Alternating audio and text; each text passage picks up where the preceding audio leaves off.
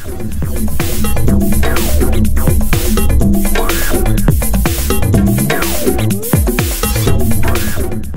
hi, I'm Skipper Wise. I'm the founder of Blue and the president. And one of the things that we're doing over here at NAMM, our art czar has put together, his name is Ken, uh, has put together this wonderful explanation about how the Blue microphones, because there's a lot of products, are broken up. For example, we have our studio ser series with the interchangeable capsules, like our bottle mic and our bottle rockets, and we go into our live series, like our Encore.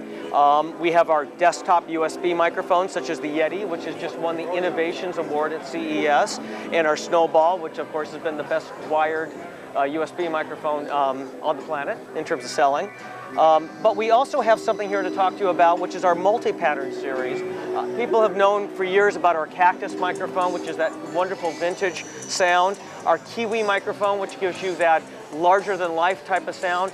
But these microphones, with the Cactus being at $24.99, the Kiwi being at $19.99 selling price, we wanted to be able to bring a multi-pattern microphone into the series of multi-pattern selections that was something that was unique and we were able to come up with a new product we're showing you today, which is the reactor. And if you'll notice with the reactor, we have a few unique things. It is a three pattern mic, and the patterns are all selectable in the front here. And you can do that by turning the magnifier, which shows between cardioid, omni, and figure of eight when it's lit up. One of the other things that's unique about the microphone is that the head turns. So let's say you want to get close to a signal source, you can put it right there, right up to whatever you're recording. And of course, the reactor is blue.